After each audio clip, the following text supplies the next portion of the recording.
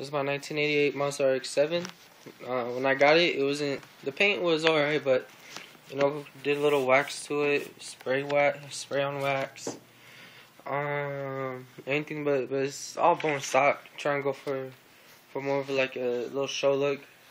Right now, um, I have to take out my my spindle and all, um, because I hit a I hit a dip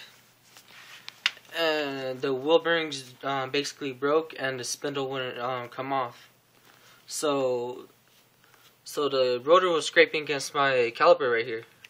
Um, so that's in the shop right now, getting all done. And um, the motor's pretty old. It has uh, how much? How many miles? Has about 224 uh, 9,000 miles on it. Um, other than that, you know, the car's clean and all. It's just that right now the motor's running super slow. Do you guys have any have any um opinions what could it be? Because I know um I read up on some people said that it could be low compression. I already changed out the spark plugs, but right now for some reason it's not um it's not going past four thousand um RPMs.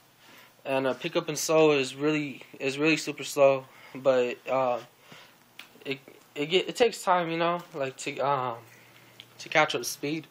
But other than that, this car is really clean. But